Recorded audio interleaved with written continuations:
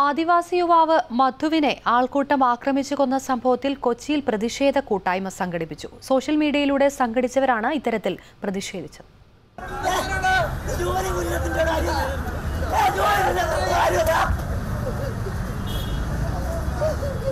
മധുവിനെ കൊന്നത് നമ്മൾ ഓരോരുത്തരുമാണെന്ന് വിളിച്ചു പറഞ്ഞുകൊണ്ട് തെരുവു നാടകം.